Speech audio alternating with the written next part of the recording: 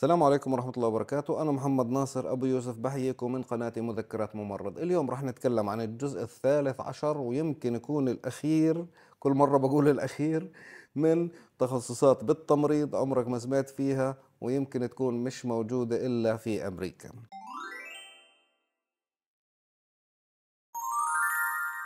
معلش السلسلة هاي طولت بس أنا كل يوم بتذكر تخصص أو اثنين بضيفهم على المجموعة كل ما يصيروا ثمانية أو عشرة بعمل لهم فيديو منفصل. هذا الفيديو رقم 13 أتوقع أنه كملنا المية أو تجاوزناهم.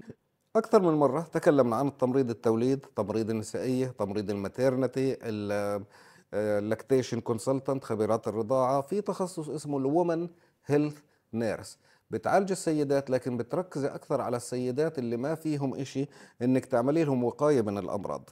انت بتركزي على رعاية النساء سواء في شبابهم قبل الحمل خلال الحمل بعد الولادة أو حتى بعد بلوغهم سن اليأس لما يبطلوا يحملوا أصلا.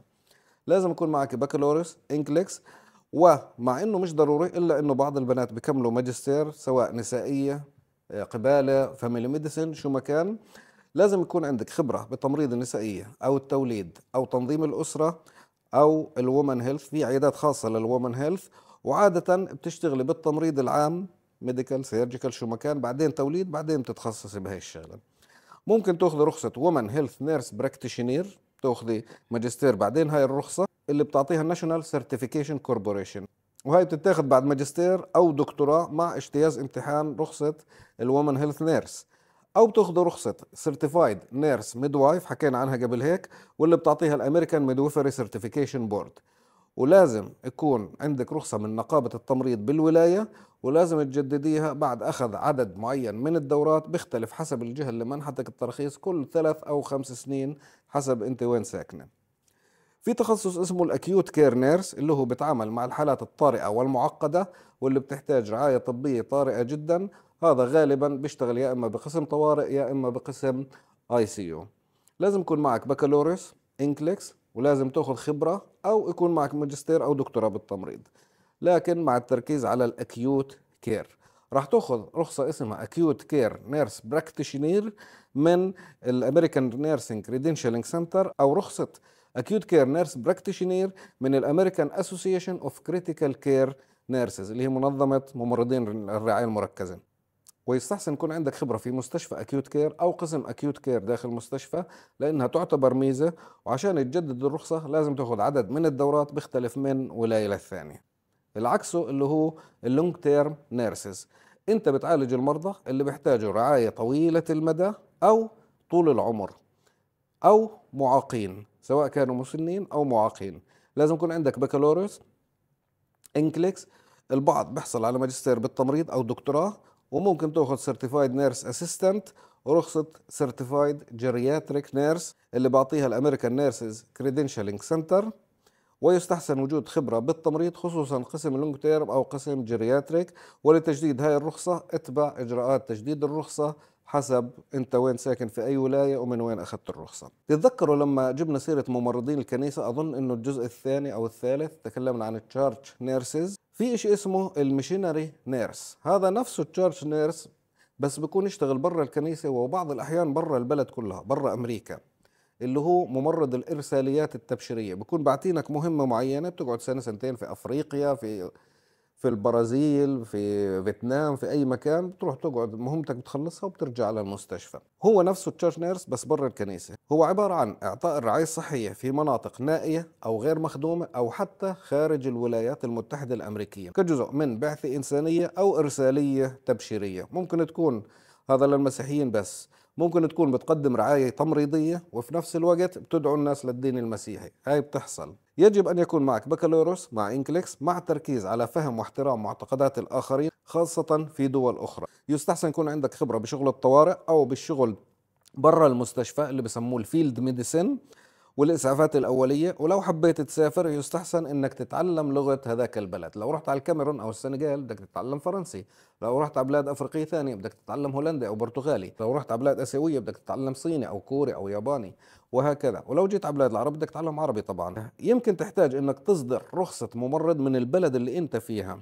مع اتباع تعليمات المنظمة نفسها من فحوص طبية وتدريب و orientation ودورات وغيره ولتجديد الرخصة يجب اتباع تعليمات هاي المنظمة اللي أعطتك الرخصة سواء طوارئ أو غيره. ولو عملت خارج أمريكا فلازم تتأكد أن الرخصة الأمريكية ما انتهت. صحيح أنت بتشتغل برا أمريكا بس أنت حامل باسبور أمريكي فالرخصة اللي معك لازم ما تكون منتهية. ال nurse advocate أو محامي المريض خلينا نسميه زي ما تعلمنا بالجامعة الممرض هو محامي عن المريض. أنت لازم تتأكد انه مريضك يتلقى الرعاية الصحية ويفهم كل الوسائل المتاحة ويناقشها ويقول لك هو شو بحب وشو بفضل ويختار ال patient need and preferences مش هيك بنسميها؟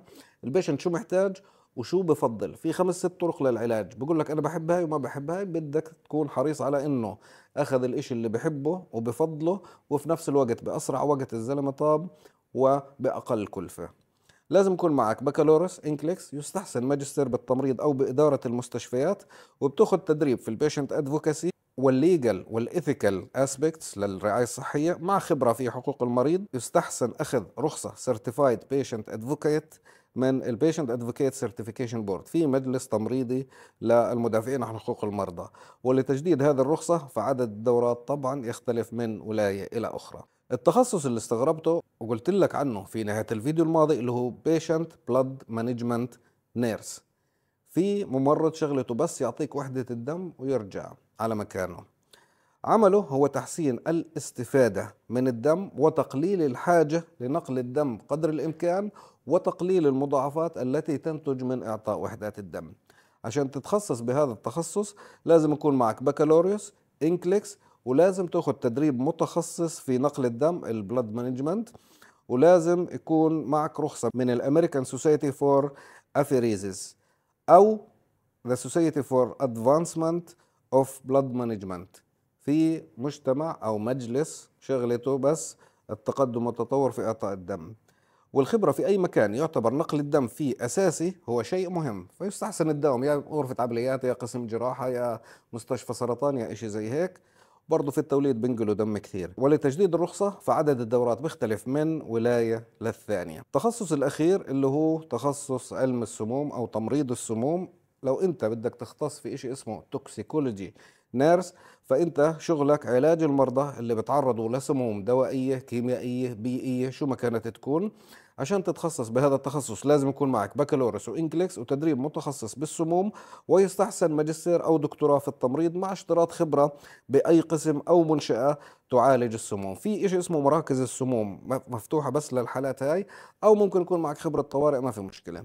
تأخذ الرخصة من ال American Board of Clinical Toxicology اللي هي المجلس الأمريكي لعلم السموم أو ال American Association of Poison Control Centers اللي هي المنظمة الأمريكية لمراكز علاج السموم. ممكن تأخذ رخصة اسمها certified clinical toxicologist أخصائي سموم معتمد بعد دراسة وتدريب متخصص في السموم فقط والنجاح في امتحان هم بيعملوا لك إياه. عشان تجدد هاي الرخصة بتأخذ عدد من الدورات بيختلف من ولاية للثانيه كل سنتين أو خمسة حسب أنت من مين أخذت الرخصة. في تخصص بيشبهه اسمه poison information specialist information يعني أنت بس بتعمل health education. لازم يكون معك بكالوريوس NCLEX تدريب متخصص بالسموم يستحسن ماجستير أو دكتوراه بالتمريض مع التركيز على السموم بالذات وتأخذ الرخصة اللي اسمها certified specialist in poison information من ال American Association of Poison Control Centers برضه لتجديد هاي الرخصة بالذات لازم تأخذ 20 إلى 30 ساعة دورات كل خمس سنوات بتختلف من ولاية للثانية. شو بفرق عن اللي قبله؟ هذاك بيعالج المريض اللي عنده سم هذا بيعطيه معلومات وبيعمل له health education هذا غالبا بيشتغل على التلفون بكون يشتغل في مركز سموم. انت بتكلمه بتقول له والله بلعت بالغلط سم العلبة مكتوب عليها اسمه كذا وكذا. فهو ممكن يقول لك إنه السم هذا غير مؤثر ممكن يقول لك خطير جدا اطلع الطوارئ. ممكن يقول لك مثلا اشرب كوباية حليب هاي بتخفف تأثير السم. ممكن لو السم مثلا اجى على عينيك يقول لك اغسل وجهك بميه لمدة ربع ساعة أو نص ساعة بعدين اطلب الطوارئ.